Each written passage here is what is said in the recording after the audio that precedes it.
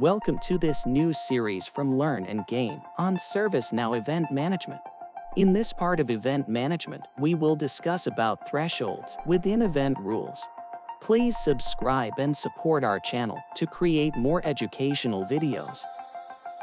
Just a reminder that this in no way, shape, or form should be considered as an official training material on the event management module.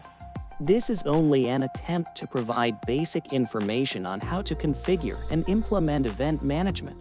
Please refer to ServiceNow product documentation for most recent updates. Thresholds enable processing of events based on a defined threshold. Most monitoring tools provide the same capability, with certain polling enabled to validate if the defined metric is equal to, or greater, or less than the configured threshold for a defined period. Event rules also offer the same capability, based on a metric value, or the number of occurrences of the event over a specific period.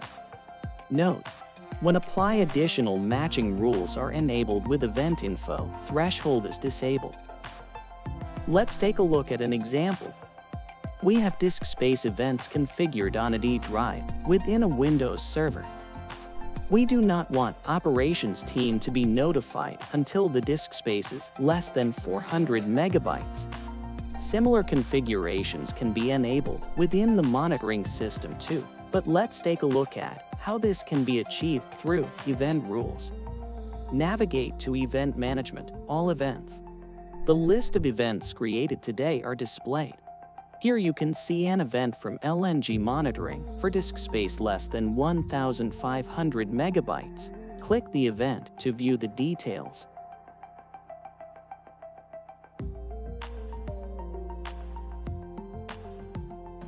Click Create Event Rule. Provide a brief description, and we are naming the event rule as disk space less than 500 megabytes.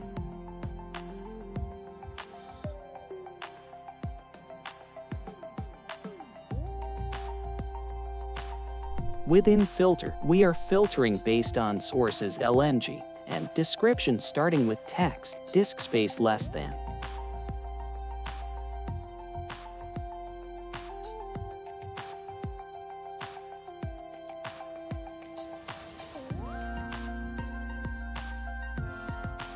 In the transform and compose, we know the disk space metric value is within the description of the event.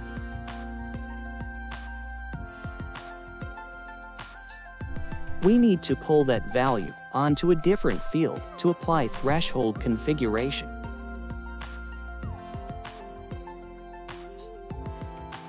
We are naming that value as disk space. In Threshold tab, select Active to configure thresholds. Since we need alerts for value less than 500 megabytes, less than operator value is used. The field name is the disk space value that we configured as a part of transform. Specify the threshold value as 500. Occurs refers to the number of instances such events need to occur within a specified duration, so alerts can be generated when the condition is met. Here we are configuring the value as 2. A disk space event with value less than 500 must occur twice within 120 seconds. You can configure Close Alert Operator if needed. Now we have generated three test events with disk space for 100 megabytes within a period of 120 seconds. You can note that events are processed and an alert is generated. If you look at the processing notes, it states event rule applied was disk space less than 500 megabytes in this example, an alert will be created even without an event rule, as the node was bound to CI. Please refer to ServiceNow Event Management, Event Rule, Part 6 of this series to understand how an event is processed. In the next chapter, we will discuss about the CI binding within an event rule. We will have the entire training segmented into multiple videos to provide a better understanding of each segment.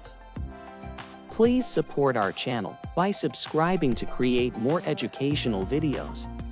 Thank you and have a wonderful day.